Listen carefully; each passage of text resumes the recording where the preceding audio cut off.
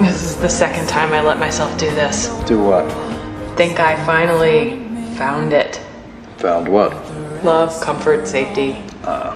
I always thought if he could just get it together, grow up, maybe we could do it. Maybe we could really be a family. And then he did get it together. He became that guy. And he gets to be that guy with her.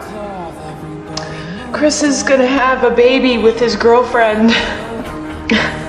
he's gonna be there for her while she's pregnant, and he's gonna be there with her while their child grows up, and he's gonna be there for her while she does whatever it is she does. And I have been exactly the same place that I was in before. Is that so bad? I mean, you got Rory. Yes, I do. You got friends, you got a house, a job, apparently an iron stomach. No, it's not so bad.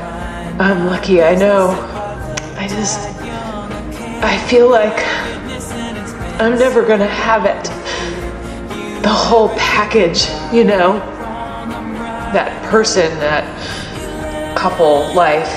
And swear, I hate admitting it because I fancy myself Wonder Woman, but I really want it. The whole package.